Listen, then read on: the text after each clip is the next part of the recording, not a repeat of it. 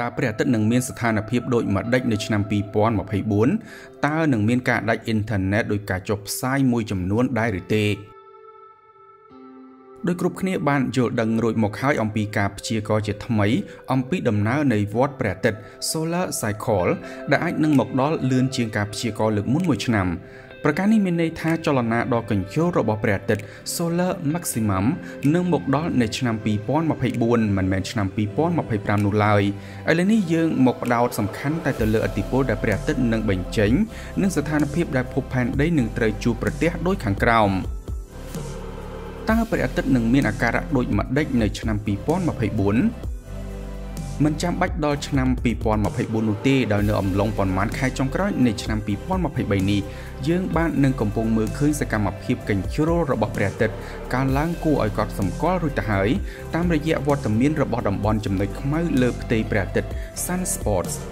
វត្តមានរបស់ Sunspot ជាសញ្ញាបង្ហាញថាព្រះអាទិត្យកើតមានចលនាកញ្ជ្រោលខ្លាំងដូចជាការជះចេញនូវអណ្ដាតភ្លើង flare ដែលជាភាសាបច្ចេកទេសហៅថា coronal mass ejection ឬ CME នោះ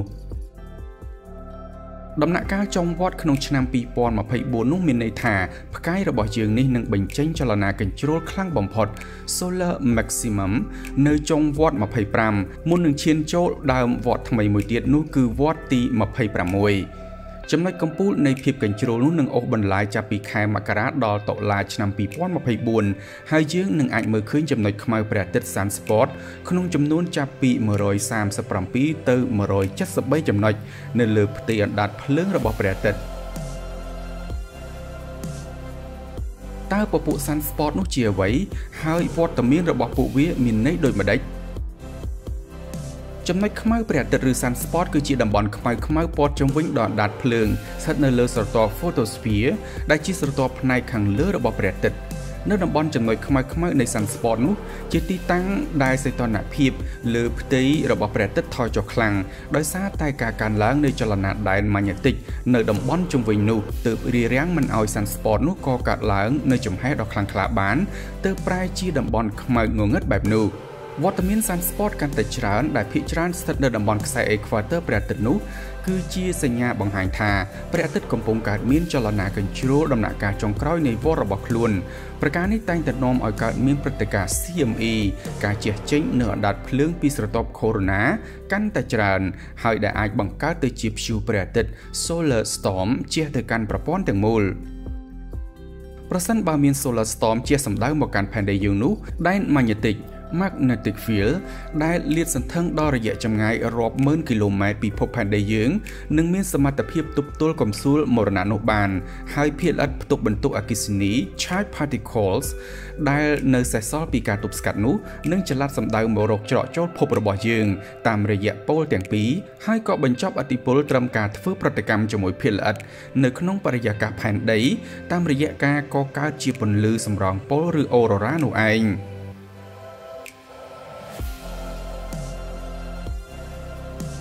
តើនៅឆ្នាំ2024វត្តព្រះអាទិត្យអាចនឹងបង្កបញ្ហាអ្វីខ្លះ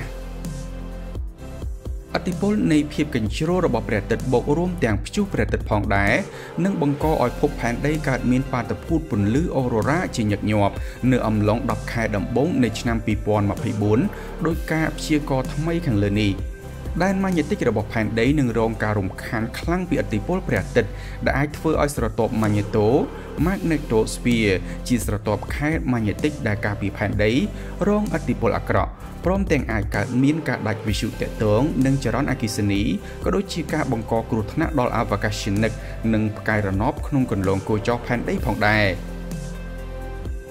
ឧទាហរណ៍ជាក់ស្ដែងមួយគឺកាលពីថ្ងៃទី13ខែមីនាឆ្នាំ1989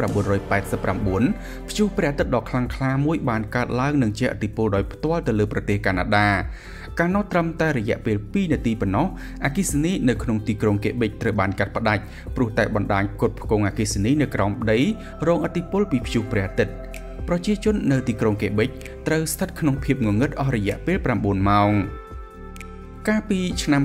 2022ក្រុមហ៊ុន SpaceX របស់លោក Elon Musk បានអះអាងថាផ្កាយរណបរបស់ខ្លួនប្រមាណជា40គ្រឿងត្រូវបានឥទ្ធិពលនៃព្យុះព្រះអាទិត្យបំផ្លិចបំផ្លាញ SpaceX ក៏បានបង្ហើបផងដែរថាផ្កាយរណបដែលលែងប្រើការបានទាំងនោះត្រូវបានបញ្ជាឲ្យទម្លាក់ខ្លួនចូលបរិយាកាសផែនដីវិញដើម្បីកំទេចចោលតើសេវាអ៊ីនធឺណិតនឹងត្រូវកាត់ផ្តាច់ឬ ការព្យាករណ៍មួយពីសំណាក់ក្រុមអ្នកវិទ្យាសាស្ត្រនៃសាកលវិទ្យាល័យ George Mason សហរដ្ឋអាមេរិកដែលត្រូវបានដកស្រង់និងចេញផ្សាយដោយសារព័ត៌មាន Fox News កាលពីថ្ងៃទី8ខែវិច្ឆិកាឆ្នាំ2023បានដឹងថាការកើតមានមហាព្យុះព្រះអាទិត្យឬ Solar Superstorm អាចបង្កឲ្យអ៊ីនធឺណិតលើភពផែនដីត្រូវកាត់ផ្តាច់ដែលអាចអូសបន្លាយរយៈពេលរាប់សប្តាហ៍ឬចូលខ្ទង់រាប់ខែដោយអាស្រ័យលើសមត្ថភាពរបស់មនុស្សក្នុងការស្ដារស្ថានភាពឡើងវិញ។ ក្រុមអ្នកវិទ្យាសាស្ត្រខាងលើនេះក៏បានអះអាងទៀតថាពួកគេកំពុងសិក្សាទៅលើប្រព័ន្ធប្រកាសអាសន្នជាមុនឬហៅថា Frontline Tonight ដោយមានថវិកាទ្រទ្រង់ប្រមាណ13.6លានដុល្លារជាមួយនឹងស្ថាប័នកងទ័ពជើងទឹកអាមេរិកដើម្បីស្វែងរកវិធីសាស្ត្របង្ការទុកជាមុនកុំឲ្យកើតមានការដាច់អ៊ីនធឺណិតលើផែនដីព្រមទាំងបណ្ដាញទូរគមនាគមន៍តាមប្រព័ន្ធផ្កាយរណបដោយសារតែឥទ្ធិពលនៃ Solar Superstorm នោះ។ ពួកគេថែមទាំងបានកណនាទៀតថាការដាច់អ៊ីនធឺណិតនឹងបង្កឲ្យមានការខាតបង់គិតជាទឹកប្រាក់7000លានដុល្លារអាមេរិកឯណោះនៅក្នុងរយៈពេល1ថ្ងៃ។ ការអះអាងអំពីករណីដែលអាចកើតមាន Solar Superstorm ចំពេលដែលក្រុមអ្នកវិទ្យាសាស្ត្រកំពុងបញ្ចេញការព្យាករណ៍ថ្មី អំពីការកើនឡើងនៃភាពកញ្ជ្រោលដល់កម្រិតកម្ពស់របស់ព្រះអាទិត្យ Solar Maximum នៅឆ្នាំ2024ខាងមុខបែបនេះបាននាំឲ្យសារព័ត៌មានជាច្រើនទាញរឿងពីរនេះមកភ្ជាប់ជាមួយគ្នានិងថែមទាំងបានអះអាងទៀតថានៅឆ្នាំ2024ខាងមុខនេះអាចនឹងមានការដាច់អ៊ីនធឺណិតលើភពផែនដី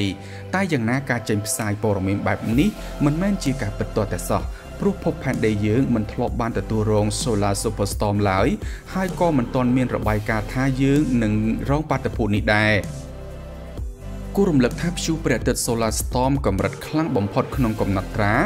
មិនទាន់អាចចាត់ទុកជា Super Storm នោះទេ បានកើតមានឡើងកាលពីឆ្នាំ1859ដោយបានបង្កឲ្យភូមិសាស្ត្រម៉ាញ៉េទិកនៃភពផែនដីជួបភាពចលាចលយ៉ាងខ្លាំងព្រោះតែវាបានបង្កមហន្តរាយដល់បណ្ដាញទូរលេខ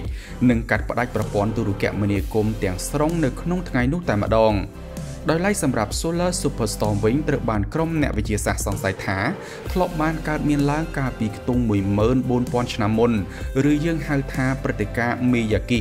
Miyagi Event ហើយ Cable Space នឹងពន្យល់អំពីប្រធានបទនេះនៅអត្ថបទក្រោយ។